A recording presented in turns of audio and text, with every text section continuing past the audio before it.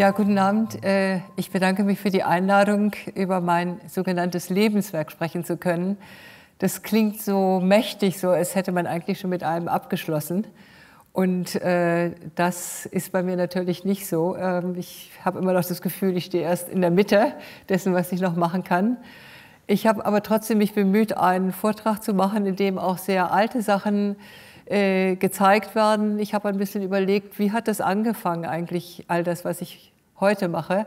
Und meistens ist es ja so, dass äh, man gefragt wird, wie bist du auf diese Idee gekommen? Aber ich komme nie plötzlich auf eine Idee. Das ist immer ein langer Prozess. Man hat Eindrücke, man hat äh, Vorhaben und dann fügt sich das zusammen. Manchmal dauert das auch ein Jahr oder zwei Jahre, bis man soweit ist. Und diese ganzen Schritte habe ich jetzt mal so ein bisschen zusammengesammelt, äh, versucht ein bisschen Ordnung zu machen in diesem Lebenswerk. Das ist mir nicht ganz gelungen, aber vielleicht gibt es doch so einen Pfad, den man erkennen kann. Also ich werde oft gefragt, was bist du? Und es ist schwierig zu sagen, bin ich Klangkünstlerin, bin ich Komponistin, bin ich bildende Künstlerin. Ich arbeite sehr gerne mit der Hand, mit äh, Dingen, die ich anfassen kann, mit Kabel vor allen Dingen. Ich habe gerne Hilfe, also auch äh, ich mache oft Dinge in schwierigen Situationen und deswegen vertraue ich dann immer auf ein großes Netzwerk von Mitarbeitern, die mir folgen oder auch nicht folgen. Ich äh, mache manchmal komplizierte Installationen, wo ich gar nicht so genau überlege, wie das eigentlich enden soll. Meist endet es gut, aber es kann auch mal anders enden. Ja, manche Dinge sind schwierig, langwierig und auch schwierig zu installieren. Aber es gibt auch Dinge, die sehr einfach sind für mich, zum Beispiel Field Recordings machen. Also ich bin eine begeisterte Field Recordistin, schon sehr lange, schon seit den 70er Jahren, als man noch Kassettenrekorder oder dicke Tonbandmaschinen mit sich herumtrug. Ich arbeite sehr gerne auch mit Hydrophonen. Es gibt mehrere Stücke von mir, die einfach nur aus äh, Hydrophonaufnahmen bestehen. Und vor allen Dingen bin ich ein bisschen spezialisiert darauf, elektromagnetische Klänge nicht nur hörbar zu machen, sondern auch zu hören und aufzunehmen. Und das ist eine Beschäftigung, äh, die sehr früh angefangen hat. Nach meinem Studium der Musik habe ich eigentlich angefangen, ähm, mich für die elektronische Musik zu interessieren. Das war so 77, 78. Bin dann in der Klasse für elektronische Musik in Mailand, wo ich damals lebte, gewesen und fand das Ganze ziemlich unergiebig für mich. Ich war die einzige Frau in der Klasse. Es ging wirklich nur um technische Dinge. Und sobald ich mal was anderes fragte, was eben äh, ja, andere Bereiche anging, dann hat man gesagt, Fräulein Kubisch, stellen Sie sich das mal so vor, Sie würden häkeln oder stricken. Und dann hat man mir so eine ganz blöde Erklärung gegeben. Ähm, ja, das hat dann so geendet, dass ich das, die Klasse verlassen habe und bin an die Technische Hochschule gegangen, habe da Abendkurs in Elektronik gemacht. Ich habe nicht alles verstanden, aber ich habe zum Beispiel auch das System der elektromagnetischen Induktion da kennengelernt. Und das war für mich ein ganz wichtiger Punkt. Also dieses Aufspüren von verborgenen Klängen und sie hörbar zu machen, das ist ein ganz großer Teil meiner Arbeit. In den letzten Jahren habe ich auch wieder angefangen, für Ensembles, für Musiker zu schreiben. Das habe ich lange Zeit nicht gemacht. Die Gründe werde ich noch erklären. Und das macht mir auch weiterhin sehr viel Spaß. Ich trete ab und zu auch als Performerin auf, vor allen Dingen, wenn ich äh, mit elektromagnetischen Geräten, die ich selbst entwickelt habe, zum Teil arbeite. Zum Beispiel Licht hörbar machen. Und ich habe viele, viele Jahre in meinem Leben unterrichtet, sowohl als Gastprofessorin als reguläre Professorin. Ich habe auch viele Workshops gemacht in anderen Teilen der Welt, wie hier in Afrika. Und das war einfach zum Teil großartig, weil man gerade bei solchen Workshops sehr viel zurückbekommt. Also die äh, Fragen sind andere als in, unserem westlichen, in unserer westlichen Zivilisation. Das Hören ist anders, intensiver. Und ähm, gerade so Workshops in äh, Bereichen oder in Ländern, die ich nicht gut kenne, die, die haben mir immer sehr viel gegeben. Ja. Und jetzt, wie fing das Ganze an? Das sind die 60er. Ähm, ich habe Musik studiert. Also ich habe zuerst Malerei studiert, zwei Jahre, aber mein Lehrer, Herr Sonderborg, meinte, du wirst nie eine gute Malerin, hör auf, mach was anderes. Und da ich immer schon Instrumente gespielt habe, zuerst Akkordeon, später leider einige Jahre Geige, ähm, habe ich gedacht, gut, äh, ich gehe dann doch zur Musik zurück, habe mir das Instrument Querflöte gewählt und habe von Anfang an auch so billigen Rockpop gemacht. Ähm, diese Gruppe hieß äh, The Bastian und später hatten wir eine Gruppe, die hieß Parzival. Und wir standen kurz vor dem ersten Plattenvertrag. Ich bin dann allerdings nach Graz an die Jazzakademie gegangen, weil ich das Gefühl hatte, ich muss noch so viel lernen und ich äh, muss einfach noch weiterziehen. Das sind Bilder hier aus dem Jazzhaus Hamburg. Man sieht auch Udo Lindenberg hinten spielen. Und so hat man eben damals Musik gemacht. Die Zigarette im Mund gehörte auch dazu. In den 70er Jahren habe ich dann nach Beendigung des klassischen Flötenstudiums ähm, Komposition studiert. Und ähm, man weiß ja, dass damals wenig Frauen als Komponistin überhaupt bekannt waren oder dass man ihm dachte, das geht ja gar nicht. Also Frau ist entweder Musikerin oder Lehrerin, aber Komponistin äh, nein. Und äh, das war ein Zwiespalt für mich, äh, weil ich äh, schon in diese Richtung gehen wollte. Und ähm, dann habe ich angefangen, äh, mich auch viel in der bildenden Kunst umzusehen, wo die Situation viel freier war als an den Konservatorien und habe eine erste Reihe gemacht, die hießen Emergency Solos, also meine eigenen ähm, Emergencies, meine Notfälle. Und äh, das waren Stücke für Flöte, insgesamt glaube ich sieben oder acht, äh, bei denen ich eben mit Dingen gespielt habe, die für die Flöte vorgesehen waren, also Boxhandschuhe oder Fingerhüte, so ein typisch, typisches weibliches ähm, Symbol. Die Flöte war auch übrigens verstärkt. Also ich habe schon damals auch immer versucht, so mit dem Klang etwas zu machen, was nicht vorgesehen war. Das war zum Beispiel eine, eine Performance, wo ich mit den Fingern immer so enger aneinander gehe, bis sie sich dann verschränkten und ich mich selbst sozusagen gefangen gehalten habe mit der Flöte. Hören. Und das ist ein Stück Weekend, das ist jetzt vielleicht gerade wieder ein bisschen in Corona-Zeiten aktuell. Ähm, das war eines der, eine der Performances, wo ich durch eine Atemmaske äh, geatmet habe mit, dem, äh, mit der Flöte ohne Kopfstück. Und ich gebe ein ganz kurzes Beispiel, wie es anfing und wie es dann aufgehört hat.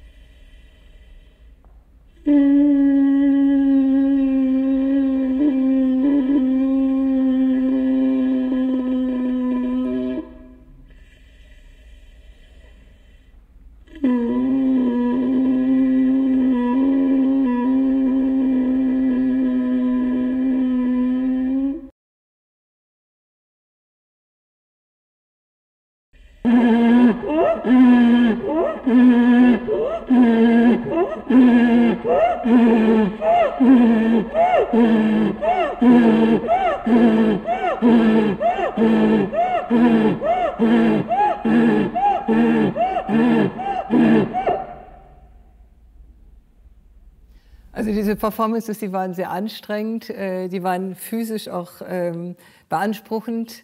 Und äh, damals in den 70er Jahren war ja auch die Body Art sehr stark vertreten und das hat mich sehr beeinflusst. Also ich wollte zwar musikalisch etwas machen, aber ich wollte gleichzeitig auch meinen Körper mit einbringen.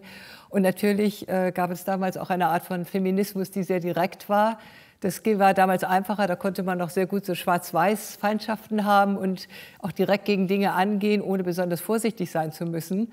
Und äh, das hat man natürlich ausgenutzt. Ähm, die Stücke das ist ein letztes Stück mit Ulrike Rosenbach, äh, wo ich total eingewickelt werde mit Kreppband, spiele da mein, mein Diplomstück, äh, ein Mozartstück und dann am Ende bin ich so eine Art Mumie und kann nicht mehr spielen. Also auch so ganz klare Bilder oder Statements zur Rolle der Frau in der Musik. Ja, dann habe ich aber auch gleichzeitig äh, die ersten Stücke geschrieben und ich habe nie gedacht, dass ich später so viel mit ähm, Kopfhörern arbeiten werde. Und das erste Stück, was ich geschrieben habe, war für fünf Pianisten an einem Klavier. Auch da war schon so ein bisschen, warum soll ich eigentlich den ganzen Tag, acht Stunden am Tag üben, um dann irgendwelches Zeugs zu spielen, was ein Komponist sich ausgedacht hat, was mir aber eigentlich gar nicht so gefällt.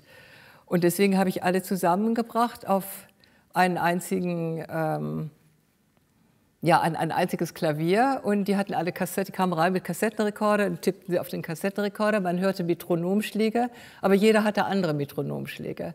Und es war natürlich gar nicht so einfach, das so technisch alles hinzukriegen. Es gab ja keine Computer, also musste das alles ganz genau sein.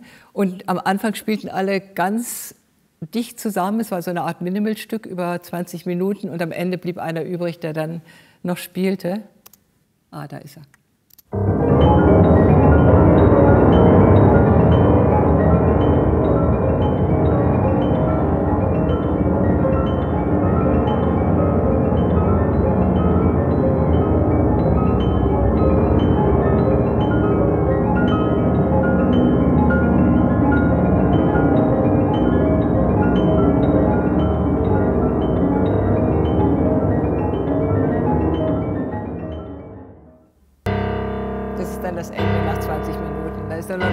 Einer, der spielt.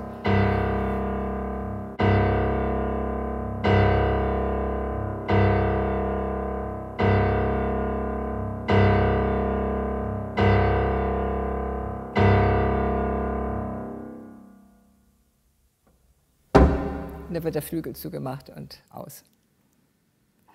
Äh, ja gut, es gab einige andere Arbeiten, ich will jetzt nicht auf alle eingehen. Also A History of Soundcards war zum Beispiel eine Arbeit, wo ich äh, mir Vorlagen gesucht habe über die Geschichte der ähm, europäischen Musik und das waren natürlich alles Männer. Und äh, dann habe ich ähm, Postkarten gefunden, die gab es damals, so Quietsch-Postkarten, die waren noch nicht elektronisch, da war so eine Art, ich weiß nicht wie vom Akkordeon, so ein kleiner Blasebalg drin und habe diese Postkarten äh, mit den Bildern der Fotografen beklebt, äh, der Komponisten beklebt und dann äh, nacheinander angespielt. Und hier sind die alle an der Wand. Sie wurden aber projiziert. Dazu gab es ein Tonband, was diese, diese Quietscherei immer schlimmer machte. Und am Ende versank alles in einem großen Chaos. Und am Ende kam dann meine eigene Postkarte, die dann wieder so ganz klar noch einmal gequietscht hat. Äh, ich muss sagen, dass die Reaktionen darauf sehr harsch waren, vor allem von den Musikkritikern damals. Also ich weiß, dass, ähm, ich habe ein paar aufgehoben. Es war so durchgehend eigentlich die Idee, äh, ja, kubisch, blond und hübsch, aber ansonsten kann die gar nichts. Die macht nur sowas, weil sie nichts kann. Und das hat mich sehr verletzt, weil ähm, ich auch keine Vorbilder hatte. Ich, ich kannte zum Beispiel die amerikanischen Komponisten, die damals aktuell waren, Pauline Oliveros und so weiter, die kannte ich ja alle nicht, denn wir hatten nicht so viel Informationen. Wir kannten das, was um uns herum war, was vielleicht berichtet wurde, aber es gab ja kein Internet und so weiter. Und ähm, erst dadurch, dass ich dann äh, einige Zeit äh, in New York verbracht habe, war das für mich wie so ein Befreiungsschlag. Da habe ich plötzlich gesehen, da gibt es ja auch Menschen, die machen Musik, aber ganz anders, als ich mir das vorstelle, äh, wie es sein also oder ganz anders, wie man mir gesagt hat, wie es eigentlich sein soll. Und das war dann wirklich ganz, ganz wichtig. Und ähm, ich habe dann auch angefangen, Selbstperformances zu machen mit äh, ungewöhnlichen Objekten. Also ich bin viel mehr in die Performance-Szene eingegangen, zum Beispiel mit Fabrizio Plessi, äh, meinem damaligen Partner, Stück für 100 Gläser Wasser und Flöte.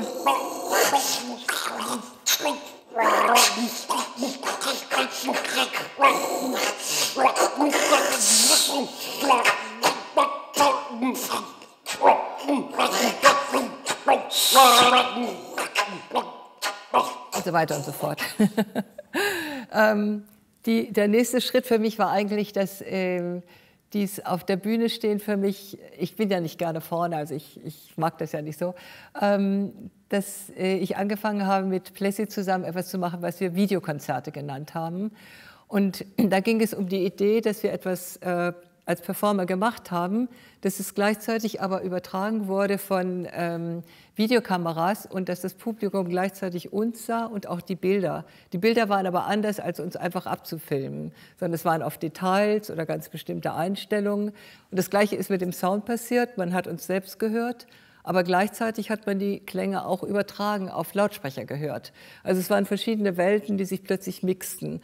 Und diese beiden Arten von Wahrnehmung, was ist nun eigentlich das Echte, was ist das Falsche, das ist auch so etwas, was mich eigentlich immer begleitet hat. Also diese, dieses, dieser Realitätsbegriff, den man hinterfragen kann. Und da sind zum Beispiel ähm, auch so ein paar Bilder von diesen Videoperformances. Das ist ein Vibrator, der auf einem Violoncello spielt, was an für sich auch schon viele Leute provoziert hat. Und ich mache andere Dinge mit der Flöte. Und gleichzeitig sieht man vorne aber dieses Detail als äh, Videowand. Ein Ventilator, der sich dreht und ich habe so eine Lotusflöte. Das wurde auch alles genau notiert, das war also nicht improvisiert, sondern schon sehr ausgeschrieben. Und hier ist nochmal die Stück mit dem Wasser, was äh, auch einmal zu einer großen Überschwemmung geführt hat in einem Museum. Da durften wir die wieder hin. Gut.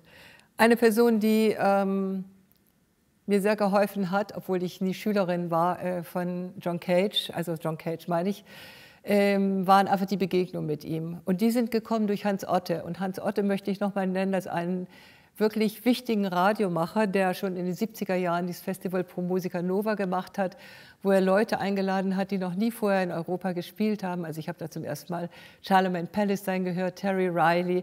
Der war so mutig und er hat also so tolle Festivals gemacht und hat mich auch mehrmals eingeladen und hat einfach darauf vertraut, dass das klappt.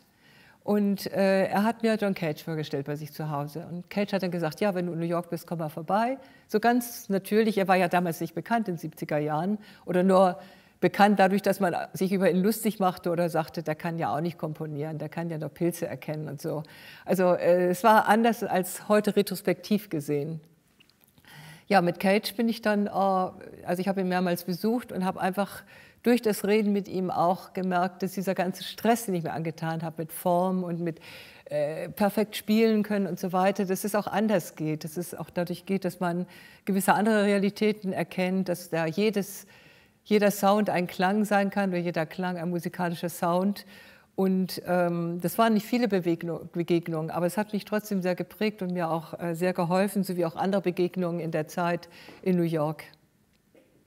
Phil Nieblock zum Beispiel, so sah das damals aus, viele Tonbänder und man hat sich auch sehr amüsiert. Also es waren sehr schöne, wilde Zeiten, muss ich sagen. Und ähm, es war auch so, dass diese ganze Gruppe von Musikern, das, wir waren ja eine kleine Gruppe, das, wir waren ja nie viele. Also wir haben eigentlich die große neue Musik gar nicht gestört. Die, die kannten uns gar nicht oder wir waren nicht wichtig. Und der Ärger begann eigentlich erst in den 80er Jahren, als so Festivals wie zum Beispiel Donau-Eschinger Musiktage angefangen haben, auch Leute wie mich oder andere einzuladen. Und angeblich hat Stockhausen gesagt, also wenn jetzt solche Leute kommen, dann komme ich nicht mehr. Ich weiß nicht, ob es stimmt, aber das hat mir mal äh, jemand erzählt. Und ähm, die ganze Soundart oder die, die, äh, Ambient Sound und so weiter. Das war eben nur eine, eine, eine, kleine Gruppe von Leuten. Wir kannten uns dann von Konzerten, von Festivals, aber es war nichts, was irgendwie wie heute überhaupt als generelle Bewegung bezeichnet werden konnte. Ja, in New York habe ich dann auch sehr viel gespielt, bin aufgetreten.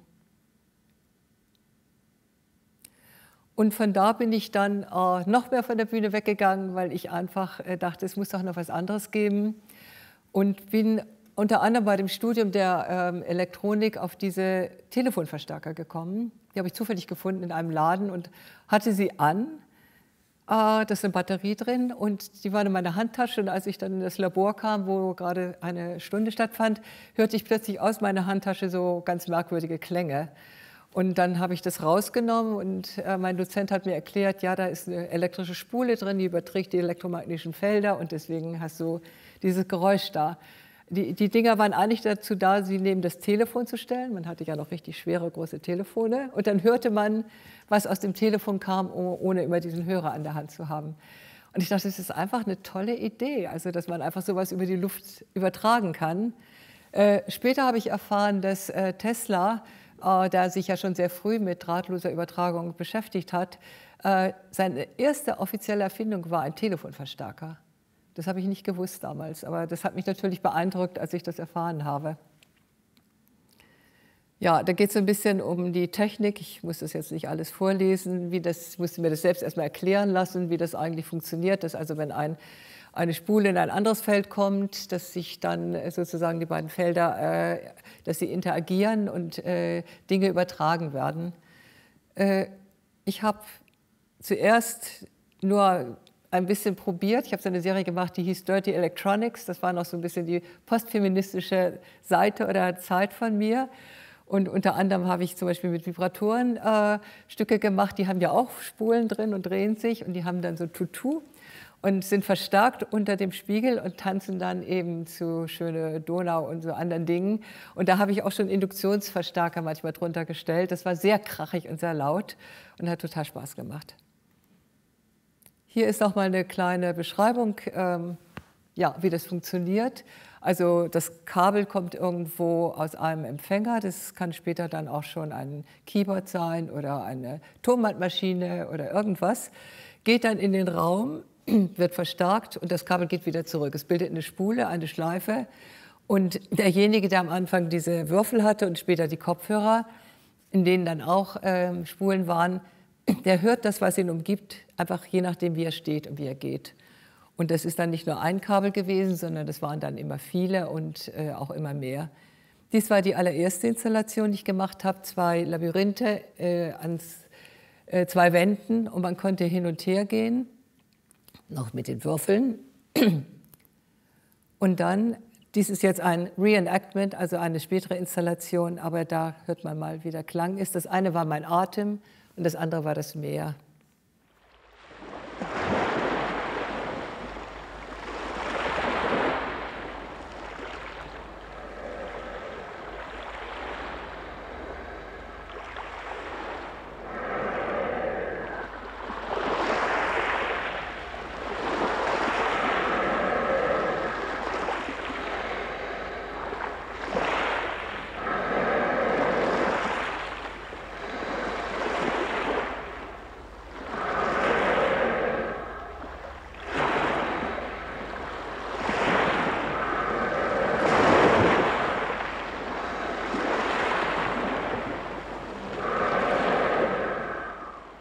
Ich habe diese Installation in äh, diesem Jahr noch einmal in einer Galerieausstellung in Berlin gemacht. Und ähm, es ist interessant, dass die Leute immer noch mit diesen ganz einfachen Mitteln, also diesem Würfel und dem elektrischen Kabel, ähm, äh, doch sehr viel ausprobieren und, und sehr intensiv hören. Es ist einfach sehr direkt und, und sehr spontan. Und ähm, dieses direkte, spontane Hören, ohne dass man irgendwie am Anfang viel wissen muss und dass man eigentlich immer sensibler wird, je mehr man sich dann mit diesen Würfeln oder Kopfhörern bewegt, das äh, ist sozusagen so eine Erfahrung, die, ähm, die auch mir Spaß macht. Hier sind so ein paar alte Bilder noch aus der Frühzeit mit dem Hören. Ich habe im Innenraum gearbeitet, im Außenraum Bäume umwickelt, äh, in Kellern Installationen gemacht dann kamen diese elektromagnetischen Kopfhörer, die ich mit einem Ingenieur entwickelt habe. Da hat man natürlich mehr Freiheit gehabt. Man konnte eben spazieren gehen. Die Kabel waren überall oder weit weg oder nah da. Und dadurch haben sich auch mehr kompositorische Möglichkeiten ergeben für die Hörer.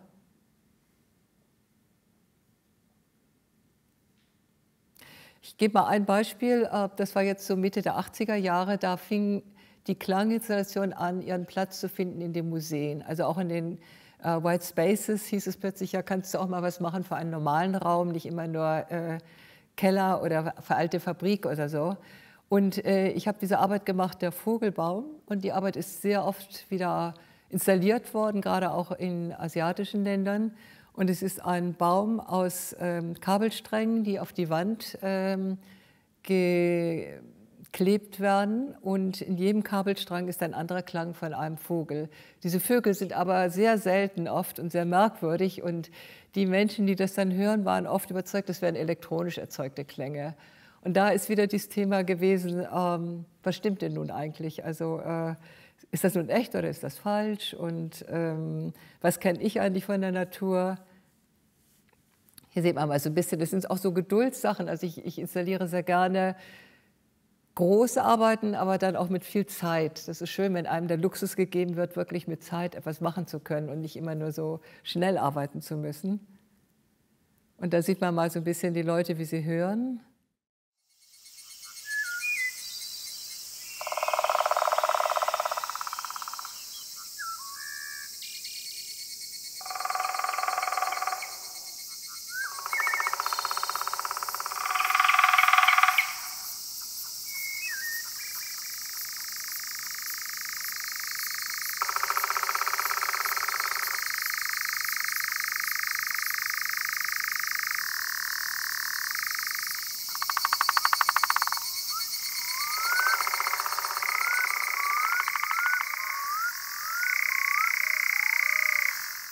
Es war sehr schön, die Leute zu sehen. Ich mag es einfach äh, auch bei diesen Installationen, das Publikum zu beobachten, weil das sind inzwischen die Performer geworden. Ich habe sozusagen die Performance abgegeben. Und manche stehen dann ganz ruhig in irgendeiner Ecke, andere laufen schnell hin und her, andere legen sich auf den Boden. Und man sieht so ein bisschen auch die Persönlichkeit von jedem Hörer, ähm, wie, er, wie er etwas zusammenstellt oder hört. Und das äh, macht mir sehr viel Spaß. Das sind jetzt nur die ersten der 14 Klänge, aber ich glaube, Sie können sich vorstellen, wie das so entlang geht und sich entwickelt. Hier sind noch ein paar andere Installationen. Durch die Luft gehen, Sonic Boom in London 2000. Äh, Japan, da habe ich Türen gebaut mit Kabeln, durch die man durchgehen konnte. Eine große Installation in Berlin in der ähm, Versuchsanstalt für Wasser- und Schifffahrt. Da wurden früher die Kriegsschiffe äh, ausprobiert. Und ich durfte so ein Riesenbecken fluten und habe dann in dem Wasser rote Kabel reingelegt äh, mit ja, Geräuschen von Schiffsunglücken, von der Lorelei, vom Krieg, von Texten über Wasser. Und das Publikum bekam äh, Gummistiefel an und platschte dann ins Wasser. Das war 200 Meter lang. Und die konnten dann die Kabel rausholen und als Ohr halten oder auch so hören. Und ganz am Ende kam dann so eine Art Harfe, wo man dann alle Klänge nochmal zusammengehört hat. Ähm, so die ganzen Wasser, Wasserunglücke. Äh, ein, eine andere Sache, die typisch vielleicht für meine Arbeit ist, äh, diese Faszination von verlassenen Orten, also von Orten, die meine Wichtigkeit hatten. Das ist Schloss Ettersburg in der Nähe von Weimar, wo auch ähm, Liszt und auch Schiller gearbeitet haben. Es gab die reiche Mäzenen, die, die ein Theater gebaut hat und dann kriegten die eben äh, Geld und konnten da bleiben und äh, so eine Art Residence machen und äh, dieses ganze äh, Schloss vor, bevor es, glaube ich, heute ein Wellnesshotel geworden ist, wurde mir und Bernhard Leitner angesichts eines Festivals in Weimar angetragen, ob wir da was machen wollten. Und wir haben das ganze Schloss bekommen und viele, viele Arbeiten gemacht. Und es war einfach großartig, so ein, so ein Riesengebäude bespielen zu können.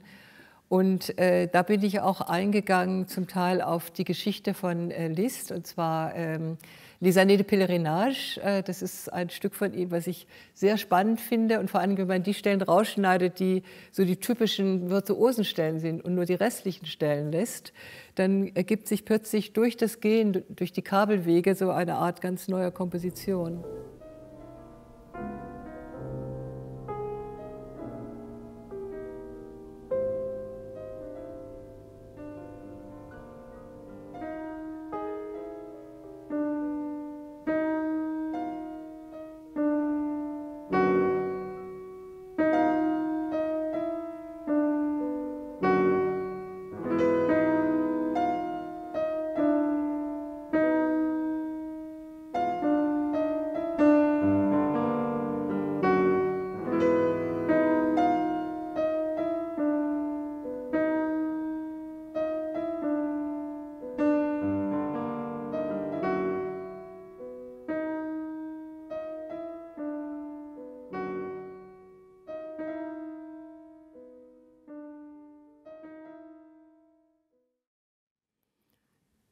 Ich habe äh, mehrere Arbeiten gemacht über äh, Kompositionen von äh, Musikern aus der Romantik, auch aber eins äh, über Beethoven und Hermann Scherchen. Das wird im Konzert dann heute Abend teilweise aufgeführt.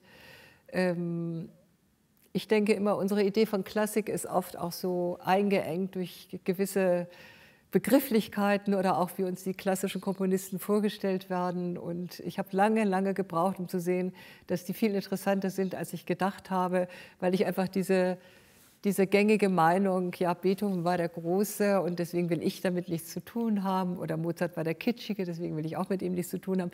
Das stimmt alles nichts. Also die ganze, dieses ganze Musikbusiness, was uns so die Komponisten so verkauft, wie sie gern gesehen werden sollen, das ist schade. Ich finde, wenn man sich wirklich mal damit beschäftigt, da gibt es so viele Facetten und so viele unterschiedliche Einblicke. Äh, und das ist wieder der Punkt, der mich interessiert. Ähm, gut, jetzt gab es dann auch Installationen mit Tänzern. Ich habe viel mit Tänzern gemacht, die über Induktionssysteme Kabel abgehört haben. Da gehe ich jetzt nicht drauf ein. Das ist Lotta Melin aus Schweden, mit der ich viel gearbeitet habe. Und am Ende habe ich auch angefangen, die Kabel nicht mehr so ordentlich zu machen, sondern äh, fast chaotisch, weil jemand meinte, du bist immer noch so äh, präzise und du kannst nicht loslassen und du musst immer alles kontrollieren. Und dann habe ich gedacht, nee, ich kann auch anders und habe dann angefangen, so ein paar Chaos-Installationen zu machen. Das habe ich nicht lange durchgehalten, aber es hat mir viel gebracht. Also der Prozess des Mal Loslassens und, und Dinge einfach mal für sich äh, geschehen zu lassen. Deswegen auch der Titel äh, des Vortrags Irrungen und Wirrungen. Das ist oft so, dass man dadurch, dass man mal was anders macht als vorher, auch plötzlich neue Wege beschreitet, ist eigentlich ganz klar. Aber so ganz einfach ist es nicht, weil man ja doch lieber auf seinem Weg bleibt. Ich habe viel mit Licht gearbeitet eine Zeit lang. Das kam eigentlich dadurch, dass ich fürs Theater gearbeitet habe, um Geld zu verdienen auch. Mit Reinhold Hoffmann, der Tänzerin, habe ich äh, mehrere Produktionen gemacht in Bremen am Bremer Theater. Und da habe ich äh, unter anderem das UV-Licht kennengelernt, was ja nicht nur ein Discolicht ist, sondern auch ein Licht ist, was man äh, benutzt in der Wissenschaft, in der Forschung und so weiter. Und ich war von diesem Licht sehr fasziniert, habe sehr viele Installationen damit gemacht. Diese Arbeit zum Beispiel, die heißt die Konferenz der Bäume.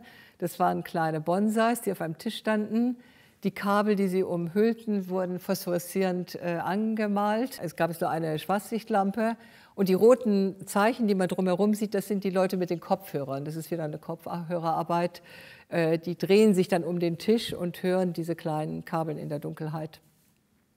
Eine andere große Arbeit war am Potsdamer Platz, eine Garage, die gebaut wurde. Es war sehr nass. Und das ähm, war eine Arbeit, äh, Auftragsarbeit mit 40 äh, Klängen auch noch mit dem System der Induktion. Ähm, und das sah dann am Ende so aus. Also das äh, war auch eine Arbeit, wo sehr viel Vorarbeit nötig war, wie oft bei Arbeiten von mir, äh, wo man auch manche Leute fragen, wieso machst du dir eigentlich diese ganze Arbeit bis da zwei Wochen und verkabelst und dann nach zwei Wochen ist es wieder vorbei. Aber ähm, diese zwei Wochen, die das Publikum dann kommt, und es kamen auch so viele Leute, das, das lohnt sich auch. Das sind so viele Menschen, die dann auch kurz teilnehmen können an der ganzen Sache. Und mir ist es eigentlich egal, ob ich da jetzt zwei Tage aufbaue oder zwei Wochen. Das ist, auch der Aufbau selbst äh, ist einfach eine Arbeit, die viel Spaß macht und die Klänge einrichten und ähm, das Ausprobieren, das ist ja auch alles Teil des sagen wir mal, vor Ort Komponierens. Oft wird ja gedacht, Klanginstallationen, ja, die hauen dann irgendwas rein und äh, es ist ihnen eigentlich ganz egal, was sie da abspielen. Das stimmt ja überhaupt nicht. Also man kann ja nicht eine gute Klanginstallation machen, wenn man nicht komponieren kann. Das geht ja gar nicht. Also es muss ja alles aufeinander abgestimmt sein. Und ganz gleich, ob jeder was anderes hört oder ob man das Gleiche hört, es muss trotzdem zueinander passen. Und äh, ich finde, dass das oft gar nicht genug berücksichtigt wird, wenn man über Klanginstallationen spricht. Hier wurde eine Wand einfach beleuchtet in einer ehemaligen Eisfabrik. Und dann kamen diese Eisfelder plötzlich hervor. Und da habe ich mit einer echten Glasharmonika gearbeitet. Ein längeres Stück wird heute auch noch mal im Konzert sein.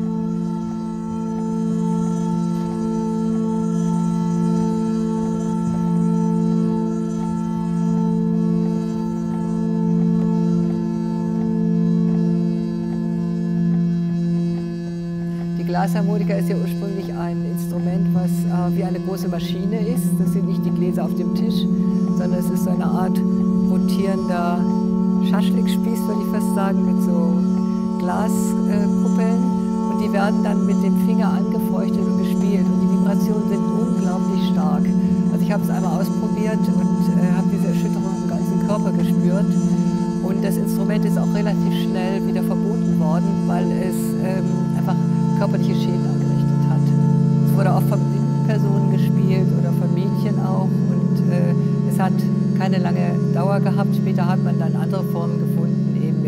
Wassergläsern und so weiter. Aber ich mag diese Klänge sehr, sie sind sehr merkwürdig.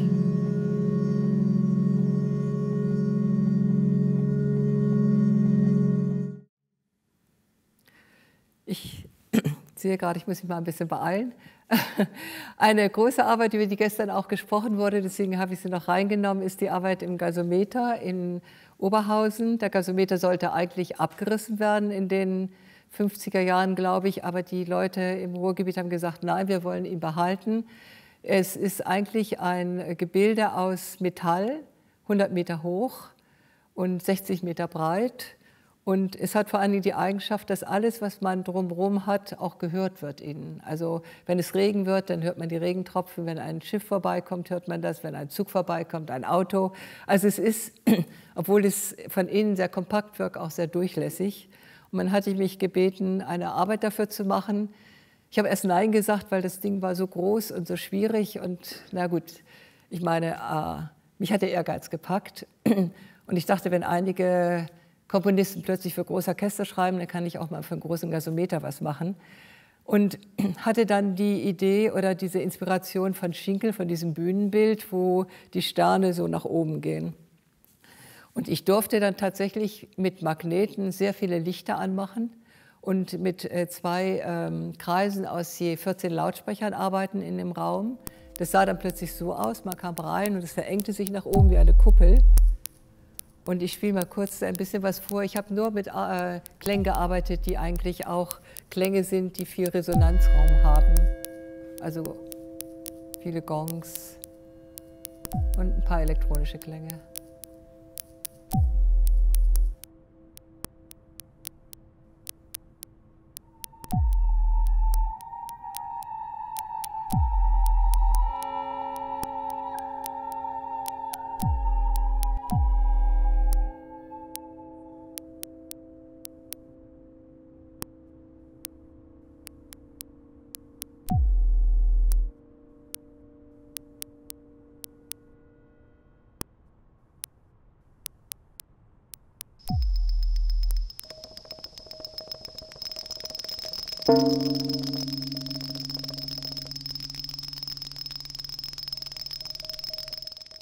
Sich vorstellen, dass gleichzeitig die Klänge von außen mit reinkamen. Also je nachdem, was gerade los war, ob es tags war oder abends, hörte man plötzlich diese Züge noch mit reinfahren. Ich habe leider keine gute Aufnahme, es ist auch schwierig aufzunehmen. Und man konnte mit dem Fahrstuhl nach oben fahren und dann so in die 100 Meter Tiefe blicken oder man konnte von unten nach oben sehen und die Klänge immer anders erfahren, je nachdem, wo man stand. Also es ist einfach eine Erfahrung, die in Stereo eigentlich überhaupt äh, gar nichts bringt weiter, wie viele andere raumbezogene Arbeiten auch. Aber vielleicht gibt es trotzdem eine kleine Idee von, dem, von der Idee, die dahinter war, eben einen Raum auf verschiedene Weise akustisch erfahrbar zu machen.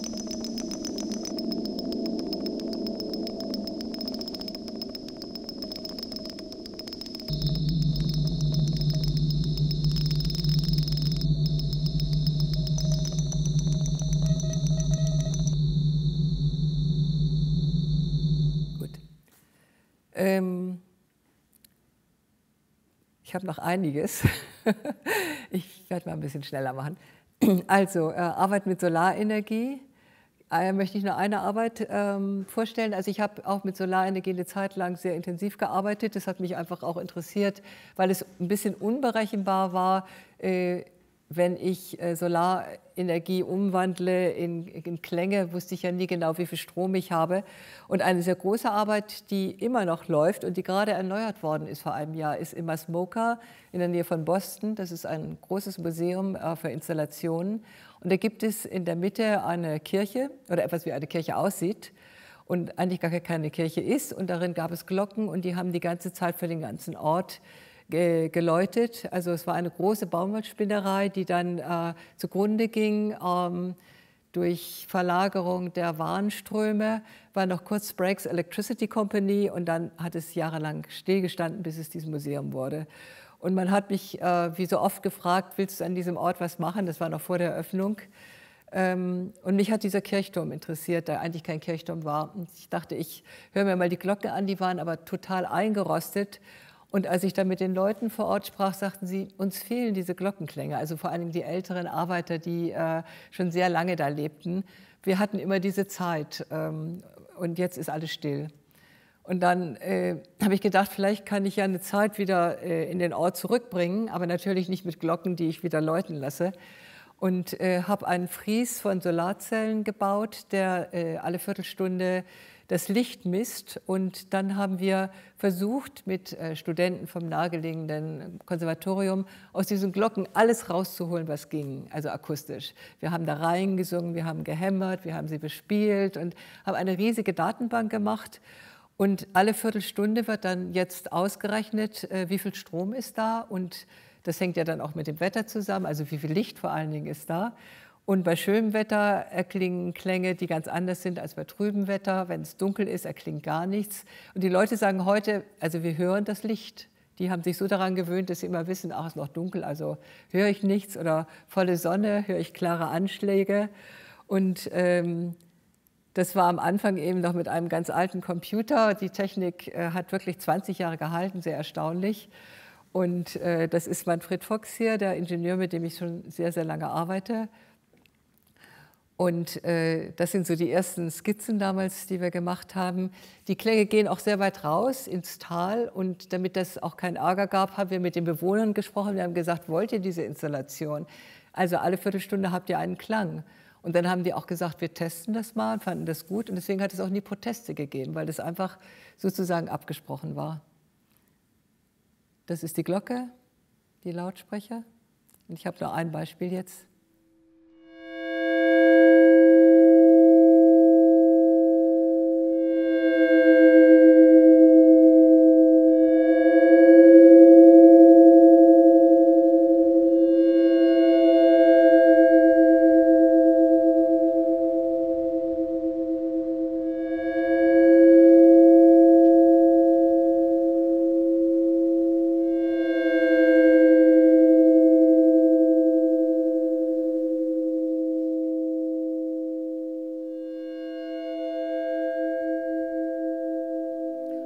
Jetzt so graues Wetter, so trübes Wetter. Und die Leute, wenn sie das hören, wissen sie, aha, kein so schönes Wetter heute oder nicht so viel Licht.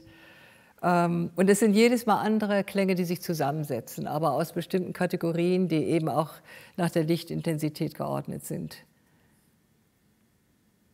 So, jetzt komme ich noch zu den Electrical Walks. Ähm, die sind eigentlich entstanden, weil die vielen Installationen, die ich vorher gezeigt hatte, in den ähm, 90er Jahren einmal für mich nicht so interessant waren, weil ich andere Techniken ausprobieren wollte. Ich wollte auch andere Art von Musik machen.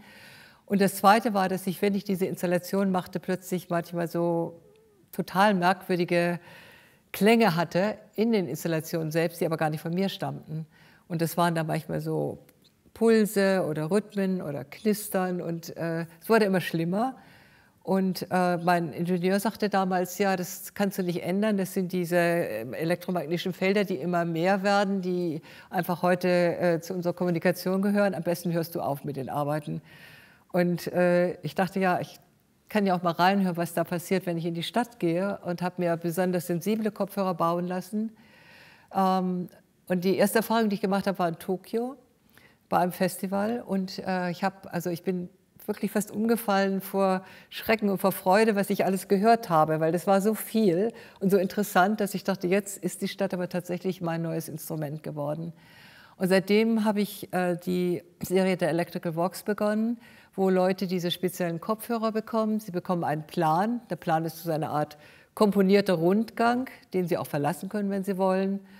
Und ähm, damit können sie ihre Stadt erkunden und ganz anders hören und vielleicht auch anders sehen als vorher. Das Erste, was gemacht wird, ist eben dieser Plan. Das ist eine Vorarbeit, die ich mache, eine Recherche. Die sehen alle anders aus und ich habe diese Sammlung von 84 Plänen inzwischen. Also wir haben es jetzt schon 84 Walks weltweit gemacht. Auch einen im ZKM übrigens, vor vielen, vielen Jahren. Und ich finde, dass sie auch, sie sind für mich wichtig, weil sie jedes Mal so eine Individualität haben.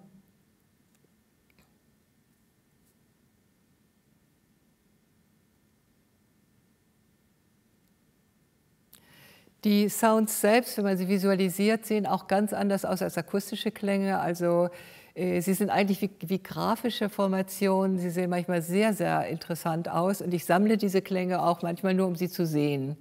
Und mache manchmal auch Ausstellungen mit Drucken. Ähm, da kann man sehr überraschende äh, Dinge erleben, wenn man sie visualisiert. Und das ist zum Beispiel zwei Sekunden von einer Straßenbahn.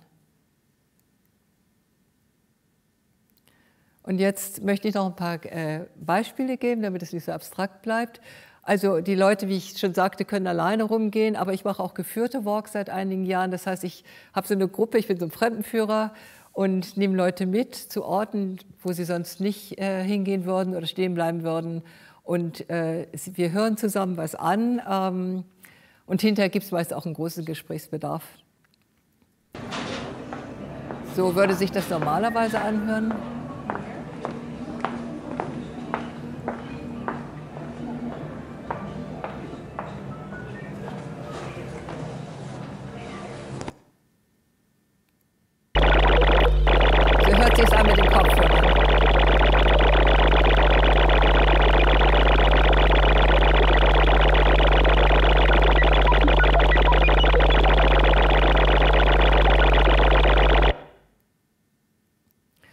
Vielleicht sieht man in diesem kleinen Beispiel schon, wie unterschiedlich plötzlich auch das ist, was man, was man wahrnimmt. Nicht? Äh, ich versuche bei diesen äh, Spaziergängen auch immer Orte zu finden, die manchmal auch, wo man nicht rein darf, manchmal braucht man so ein bisschen Mut, um irgendwo hinzugehen. Oder äh, meist ist dann die Gruppendynamik super und alle machen mit. Und ähm, ja, ich übertrete manchmal ganz gern so ein kleines bisschen die Regeln. Ähm, zum Beispiel Klänge, die auch sehr intensiv sind, sind die ganzen Sicherheitsschranken an den Eingängen äh, zu den ähm, Kaufhäusern, Läden, Warenhäusern und so weiter. Die sind sehr rhythmisch. Die Leute fangen dann auch manchmal an zu tanzen, was sehr merkwürdig aussieht. Das überspringe ich jetzt mal. Äh, es war ein längeres Video. Das kann man aber auch äh, sich ansehen im Netz. Äh, hier einige Beispiele. Zum Beispiel in Asien die ganzen vielen LEDs.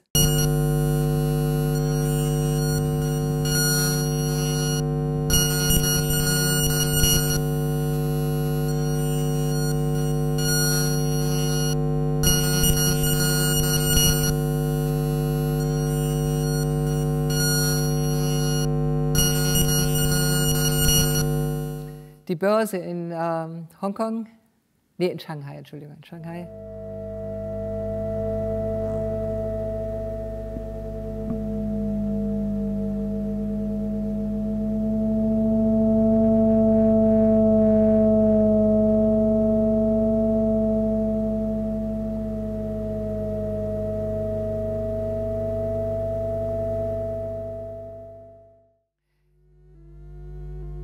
Das ist dieses billig telefonieren-Schild, was dann immer wechselt und äh, das habe ich, glaube ich, in Österreich aufgenommen und total witzige Klänge dadurch macht, dass diese kleinen LEDs sich verändern.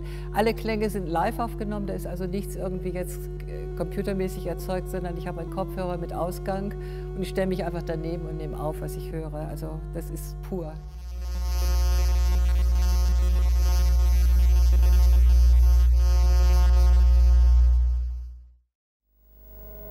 Besonders schön sind Klänge bei großen Lichtflächen in Asien. Leider gibt es immer weniger davon, weil immer mehr auf LED umgestellt wird. Und die Neonröhren haben sehr poetische Klänge, die ich auch sehr viel aufgenommen und auch für Stücke benutzt habe.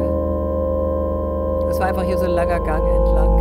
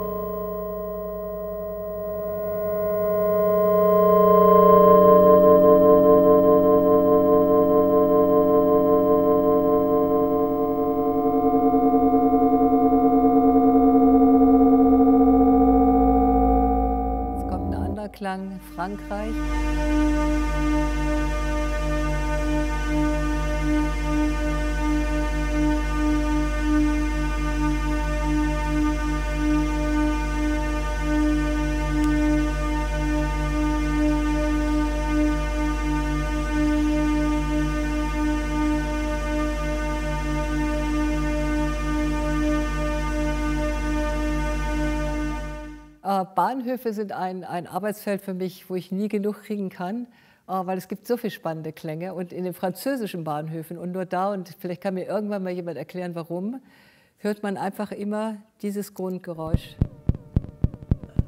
Ich weiß nicht warum, aber es ist nur in Frankreich so. Und natürlich dann die Züge und alles, was auch magnetische Felder erzeugt. Aber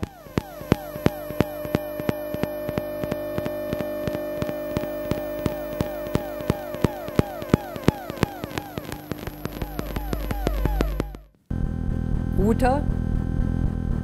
sind natürlich sehr intensiv und ähm, man übersieht sie ja meistens, weil sie sind ja selten überhaupt zu sehen oder versteckt. Und ich habe jetzt gerade letzte Woche in Prag entdeckt, dass in jeder U-Bahn-Station ein versteckter Router am Ende des Ganges ist, also der, der, äh, des Bahnsteiges und habe fantastische Aufnahmen gemacht. Die sind so stark und ich werde wahrscheinlich mal alle Stationen abfahren und aufnehmen. Und die haben alle diese rhythmischen Klänge.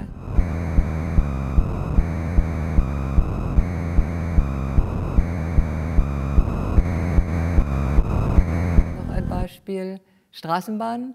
Also alles, was mit Reise zu tun hat, ist äh, mit elektromagnetischen Feldern spannend, weil äh, entweder bewegt man sich selbst und entdeckt etwas oder man sitzt irgendwo wie in so einem Theaterstück und äh, schaut raus und bewegt sich aber durch elektromagnetische Felder. Und das ist zum Beispiel eine Straßenbahn.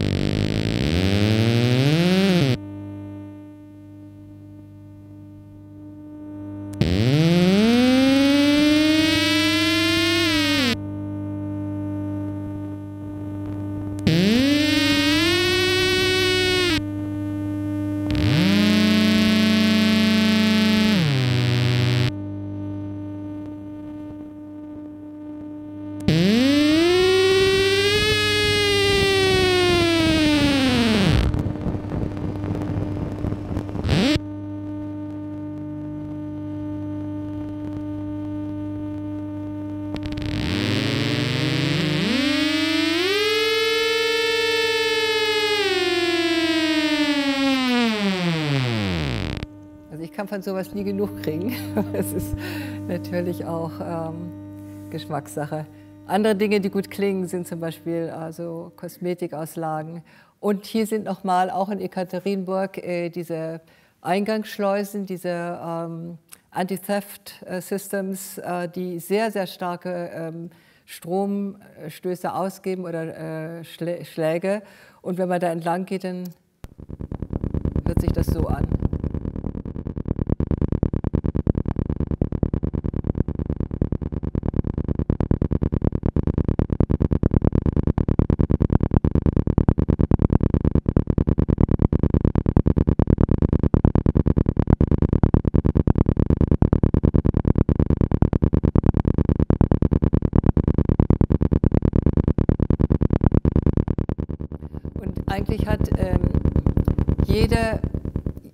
Ja, jeder Laden so sein eigenes System. Also wenn ich jetzt H&M hier höre, dann kann ich fast sicher sein, dass das in, äh, in den USA oder in Asien auch so klingt. Ja? Die, also die, jeder bedient sich so seiner Schutzmechanismen.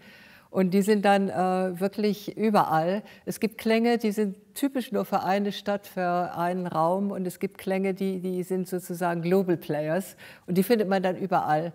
Und das finde ich interessant, weil eigentlich habe ich das Gefühl jetzt bei der Erkundung der Städte, dass viele Städte immer gleicher klingen und äh, immer weniger so diese typischen persönlichen Klänge da sind.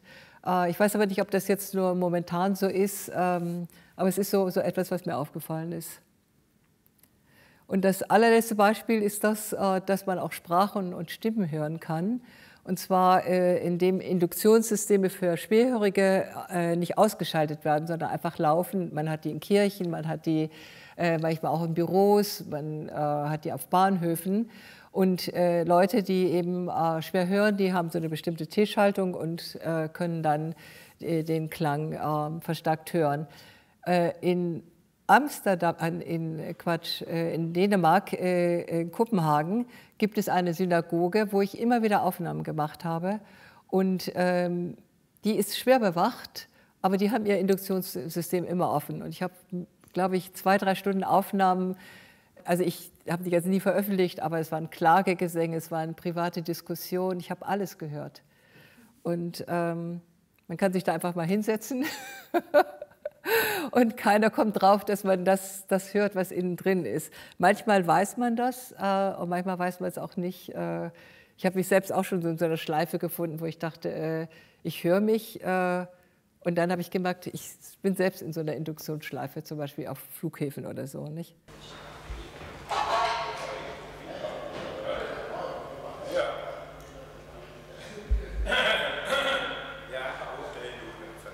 Also ich mache es jetzt mal kürzer, als ich beabsichtigt habe. Die fangen dann an mit einem langen Gesang, aber da wir in der Zeit ein bisschen fortgeschritten sind, ähm, glaube ich, ist schon einfach nur klar, man, man hört plötzlich etwas, was eigentlich verborgen sein sollte, was gar nicht da sein sollte.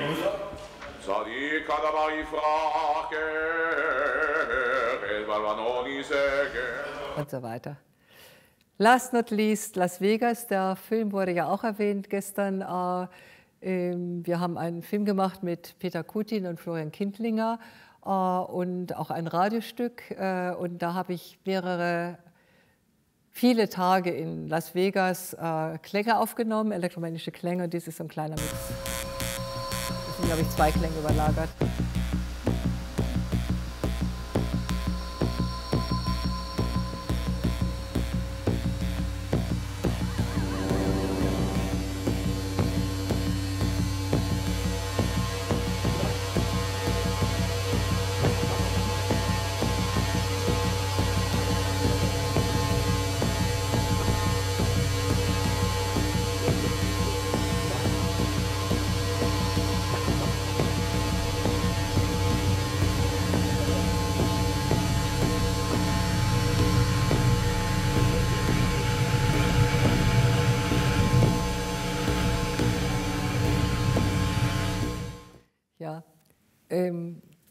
Wir wollten eigentlich äh, hier in äh, Karlsruhe ja auch geführte Electrical Walks machen. Das war nun leider nicht möglich, aber ich hoffe, dass es anders mal vielleicht nachgeholt werden kann.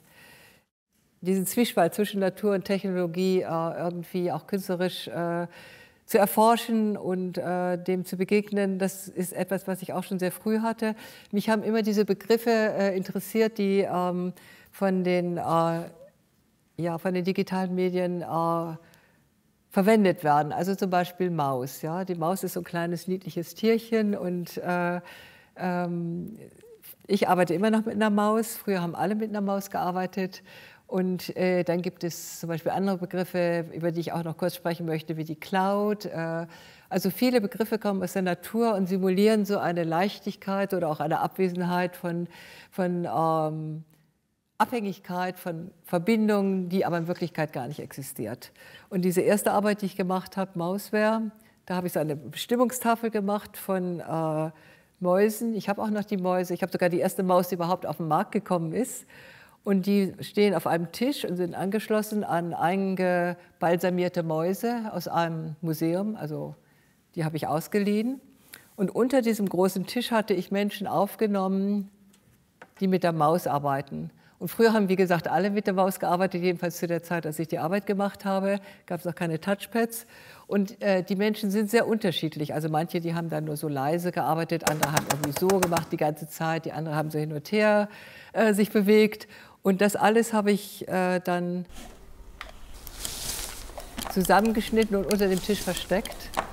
Und ja, merkwürdigerweise haben die Leute oft gedacht, das wären echte Mausklänge sind aber Computermausklänge.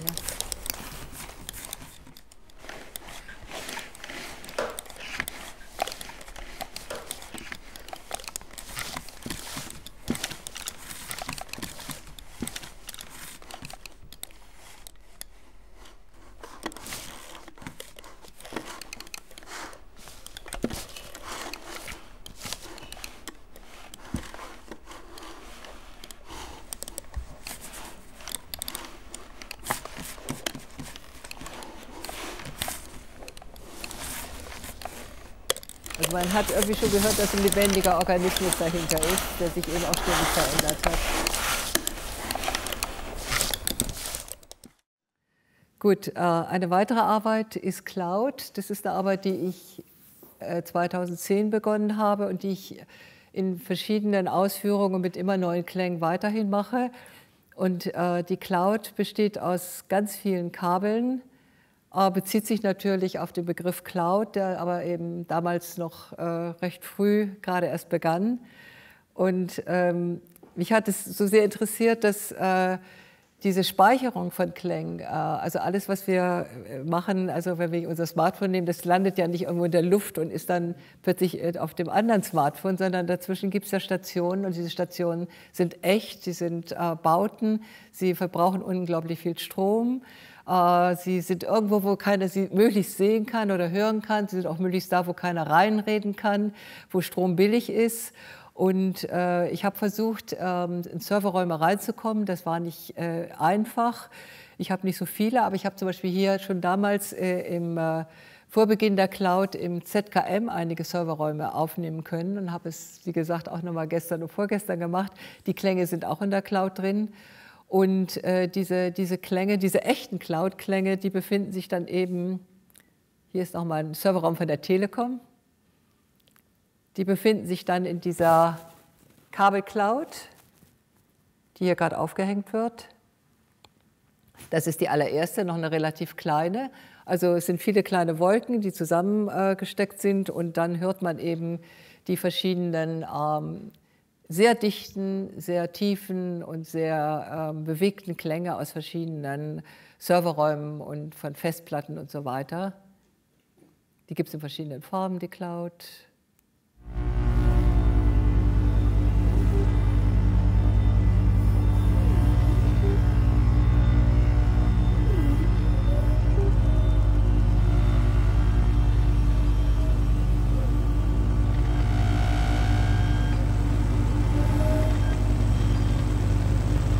Ganz schön, weil die Leute auch so drumherum gehen. Manchmal äh, gehen sie auch unter durch oder ähm, gehen auf und zu. Also das sind so, so, Bewegungsabläufe plötzlich, die sie ausprobieren. Und die Cloud ist wirklich schwer, also vielleicht nicht im Vergleich für ein Museum wie hier. Wir hatten hier ja auch eine Cloud äh, vor einigen Jahren. Eine rote Cloud, sehr schön, die hing in der Halle. Und ähm, das Ganze ist aber trotzdem nicht eben diese, diese ferne Cloud im Himmel, sondern das ist eben eine echte Cloud. Eine weitere Arbeit, äh, an der ich gearbeitet habe, ist Weaving. Das ist eine Folgearbeit von Cloud sozusagen. Und Weaving äh, bezieht sich auf ähm, das Weben. Und zwar habe ich einerseits äh, Webstühle aufgenommen, elektrische Webstühle in einer Fabrik. Ähm, und äh, habe diese zum Teil ja schon eine Vorform, es ist ja zum Teil eine Vorform von computerisierten Klängen äh, mit Lochkarten und so weiter, habe ich dann mit äh, Kommunikationsklängen äh, zusammengeschnitten, äh, die gerade ähm, in der heutigen Kommunikation ganz wichtig sind. Äh, oh, ziemlich rhythmische, ruhige, ähm, nicht ruhige, sondern pulsierende Klänge. Und das Neue bei den Installationen, wenn ich sie jetzt überhaupt mache mit ähm, Induktionskopfhörern, und das mache ich jetzt auch wieder, ist eben, dass es nicht ein Klang ist, sondern dass es äh, Klangfolgen sind. Also es sind eigentlich längere Kompositionen. Und wenn man an die gleiche Stelle geht, dann hört man plötzlich was anderes. Also man, man, man hat noch viel mehr Möglichkeiten, sich zu bewegen innerhalb der Klänge und was zu hören. Und Kupferkabel finde ich großartig, ist nur leider sehr teuer, im Moment sehr schwer zu kriegen. Und äh, Kupfer ist ja auch so ein, ein Metall, was einerseits ähm, sehr alt ist, magisch ist, aber gleichzeitig ist es auch in der Förderung eines der dreckigsten Metalle, die es gibt. Da wird sehr viel zerstört, wenn Kupfer gefördert wird. Das fasziniert mich einfach auch, dieser Widerspruch zwischen äh, den Dingen.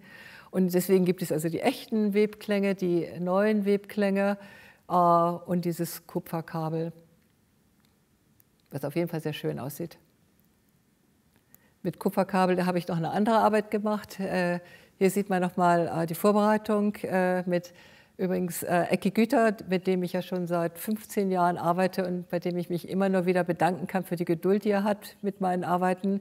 Weil oft sind die Arbeiten so, dass ich, ähm, was ich schon ein bisschen gesagt habe, ich beginne einfach mit was, ich denke nicht so viel nach.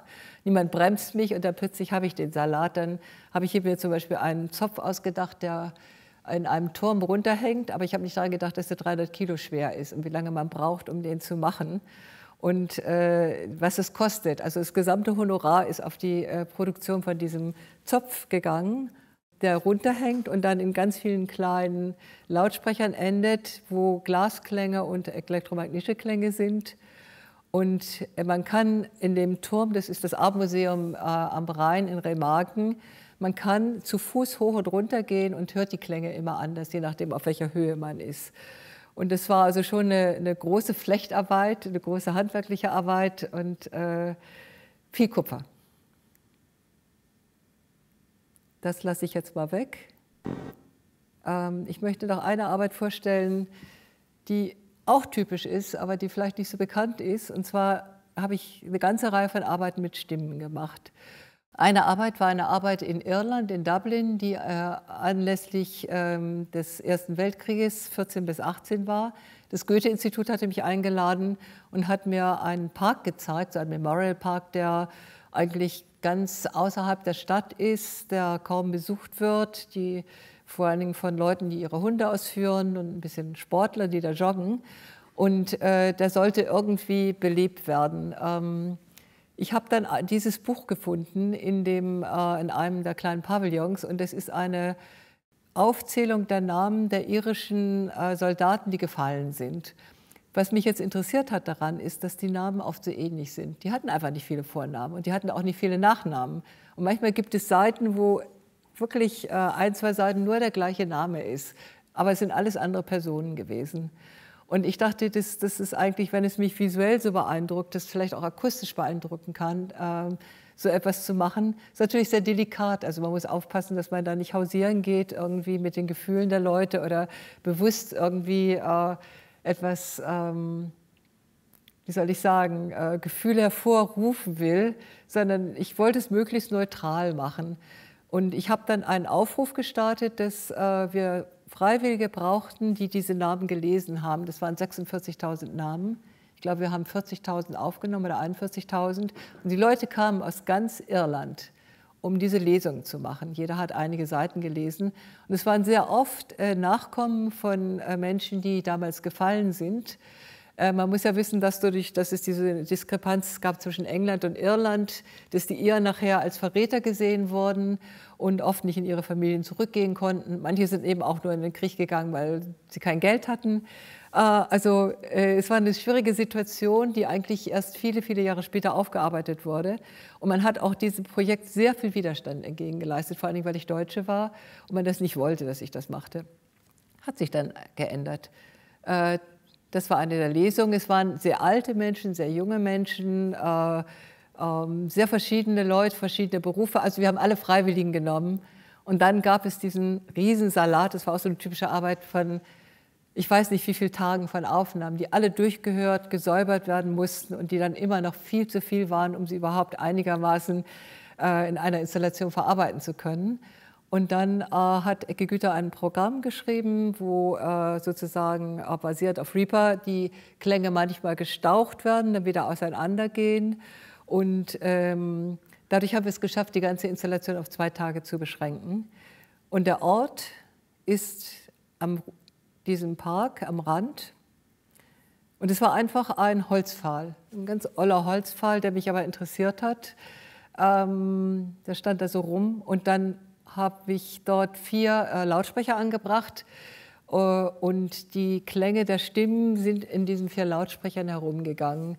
Äh, wenn es der gleiche Name war, dann stoppten die. Also wenn es dann heißt äh, John Kelly, John Kelly, dann kam es immer nur aus einem Lautsprecher. Und wenn dann Frederick Kelly kam, dann ging es wieder herum. Äh, das hört sich jetzt sehr einfach an, aber allein um dieses Kabel zu verlegen und Ort zu, einen Ort zu finden, wo wir den Computer aufstellen konnten und so weiter, das äh, war alles äh, viel, auch viele Anträge, viel Überzeugungsarbeit. Jedenfalls so sah das dann aus. Gab es eine Tafel und die Leute sind wirklich dann sehr oft stehen geblieben, also auch die, die jeden Tag kamen. Und das Ganze ist zwei Jahre gelaufen, also von 16 bis 18. McHugh, James McHugh, James J. McHugh, John McHugh, John McHugh, John McHugh, John McHugh, John McHugh, Joseph McHugh, Joseph McHugh, Martin McHugh, Michael McHugh. Michael McHugh, Michael McHugh, Patrick McHugh, Patrick McHugh, Patrick McHugh, Patrick McHugh, Richard McHugh, Stephen McHugh, Thomas McHugh, Thomas McHugh, Thomas McHugh, Thomas McHugh, Thomas McHugh, William McHugh, William McHugh, William McHugh. W. H. McHutch, James McEldown, John H. McElhaga, Robert McElhaga, John James McElhargy, John Sinclair, Robert McElhaga, Daniel McElhaga, John McElhaga, John and Daniel McElmurray, Robert Allen, Alexander Henry McElroy, Richard McElroy, Alfred David David Harry Henry John Robert Samuel Thomas William William William William William William John John McElvain William William William Robert Thomas Anderson Charles James John John Samuel Thomas William James Charles James Alexander George Henry James James James John Martin Matthew Robert Robert Samuel William David James James Stokes Alexander George Donald Charles John John John John Martin Michael Michael Michael Michael Stanislaus Thomas Thomas Arthur George Owen Margie Daniel James James John John John John Robert Alexander Charles Daniel David Frederick George Gilbert James James James John John John John Wilson Joseph Malcolm Patrick Percy Frederick Richard Robert Robert J Robert T Robert William William John Daniel McCoy Alan McCoy Hugh James John Archie Samuel Thomas William William John John Dann zieht es sich wieder auseinander. Und man muss sich eben vorstellen, äh, 40.000 Namen sind eine ganze Menge. Also wir haben irgendwie A bis K am ersten Tag gehabt und dann die restlichen am nächsten Tag. Das wurde auch aufgeschrieben und manche Leute wollten auch hören, ob irgendwelche Vorfahren von ihnen dabei waren. Die sind dann zu bestimmten Zeiten gekommen und haben gehört. Äh, gut. Und ganz zu allerletzt noch eine kurze Arbeit, die ich jetzt gerade erst gemacht habe, die muss ich noch loswerden, in San Marco in, bei der Biennale von Venedig. Ähm, das war eine Einladung von äh, Lucia Ronchetti die sich in den Kopf gesetzt hat, dass ich etwas in der Kathedrale von San Marco machen könnte. Und äh, das war eigentlich unmöglich, weil sie gesagt haben, wir wollen keine Lautsprecher in dieser Kirche. Das hat es noch nie gegeben, das wird es auch nicht geben. Es gab dann einen Kompromiss, dass ich nur mit geistlicher Musik arbeiten durfte und ähm, letztendlich haben sie sich dann darauf eingelassen. Und das hat bedeutet, dass ich in dieser Kirche etwas machen durfte ähm, mit äh, vielen Lautsprechern und vor allen Dingen mit vielen Bewegungen von Klängen. Ich hatte eine tolle Unterstützung. Ich habe zuerst äh, den Chor äh, der Kathedrale von San Marco aufgenommen, mehrere Tage lang mit Einzelmikrofonen. Die haben Madrigale gesungen, ihr ganzes Repertoire und wir haben die Stimmen einzeln und eben auch in Gruppen aufgenommen. Mit der Basis von diesem Material äh, habe ich dann äh, eine Reihe von Stücken gemacht, die am Ende in einem Konzert äh, geendet haben, wo einerseits der Chor selbst gesungen hat und zwar so, wie er das wünschte, nämlich immer an anderen Stellen in dieser Kathedrale. Ähm, was auch zu den Zeiten des Cinquecento ja so war. Da sind ja die Leute hingekommen und haben äh, ihre Kompositionen ausprobiert, weil die Akustik so unglaublich war. Und es ist tatsächlich so, wenn einer links oben etwas singt und dann rechts unten, das ist eine total andere Geschichte. Und der Klang äh, verbreitet sich anders. Also es ist praktisch eine, eine Klangforschung, wie sie gar nicht schöner sein kann. Und ich hatte eben auch da wieder eine Unterstützung von Leuten, die sich mit Klangregie gut auskannten und äh, das einzige Schwierige war, dass wir nur nachts proben durften. Also tagsüber war Touristenbetrieb und so ab 10 konnten wir rein. Von Mitternacht bis morgens um 6 wurde dann geprobt. Und dann, äh, ja, ich bin kein Nachtmensch, also es war schon sehr intensiv und sehr schön. Hier ist nochmal ein Plan, wie wir die äh, Lautsprecher dann alle ausprobiert haben, getestet haben. Also ich fand, es war ein, ein großer Luxus, so etwas machen zu können und auch ein großes Vertrauen. Und ich hatte ein tolles Team. Ecke Güter war auch dabei. Und wir haben dann eben nachts gesessen und getestet und geprobt. Also es ist fast so schön wie im Kubus. Oder vielleicht auch manchmal auch ein bisschen schöner. ähm, ja, äh, dieses, diese Komposition uh, Traveling Voices, eins davon wird heute Abend auch im Konzert aufgeführt. Und ich habe sogar den Preis für die beste Uraufführung dafür bekommen. Und auch da muss ich wieder sagen, das ist eine Arbeit, die hätte ich nie alleine machen können. Die ist einfach gekommen, weil einerseits äh, der Chorleiter mir so viel Vertrauen gegeben hat, der sagte, ich gebe dir die Stimmen von meinen Leuten, mach damit, was du willst. Dann das Vertrauen der Kuratorin, das Vertrauen ähm, der Mitarbeiter, die sich auf alles eingelassen haben, alles ausprobiert haben. Und ich finde das sehr schön, wenn Arbeiten so zusammen entstehen können und wenn das Risiko auch so ein bisschen gemeinsam getragen wird. Natürlich gibt es auch immer kleine Zwischenfälle und derjenige, der die Klangregie macht, äh, macht manchmal auch ein bisschen mehr, als er machen soll oder jemand anders macht zu wenig oder solche Dinge. Aber insgesamt ist so dieses Risiko, was dabei ist, einfach äh, sehr schön. Und dieses Live- ähm, Auftreten, das kann man auch mit Lautsprecher machen, meiner Meinung nach. Also es ist nicht nur, dass ein Interpret vorne steht, sondern das ist einfach auch den Lautsprecher als Instrument begreifen. Ja, das war unsere Aussicht nachts. Ich bedanke mich.